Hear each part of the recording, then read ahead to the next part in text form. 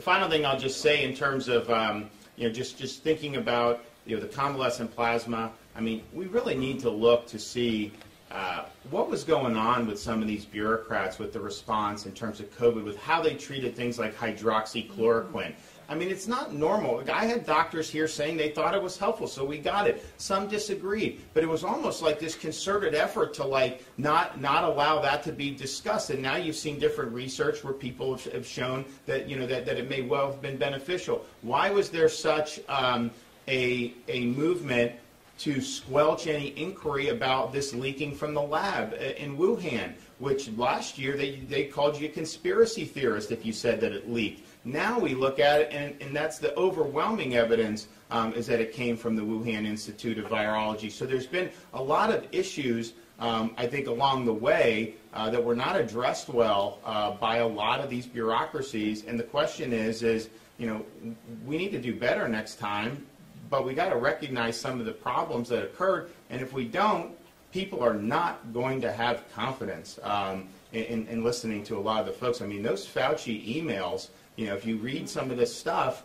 and how different that was than what he was saying in public, um, you know, really is, uh, I think, very, very problematic. And it's not, you know, I know we get into these political stuff with some of this stuff in the here and now, and, and that we should, that's fine. But I mean, thinking long term, that is not the way we want to be doing it. We should not be sending money to China to do this gain of function research. I mean, this is just something that is creating super viruses in, in some lab that's very much involved with the Chinese military and intelligence. Uh, why would you be doing that? I mean, it makes no sense, and obviously the results have been have been absolutely terrible. Uh, but all this stuff along the way, I think there were a lot of things uh, where you kind of had the official bureaucracy and, and, and, WHO and some of these other groups, you know, that, they went all in on some of these theories um, and it turns out, uh, you know, they really weren't accurate with what they were trying to do. And so I think there needs to be a full investigation.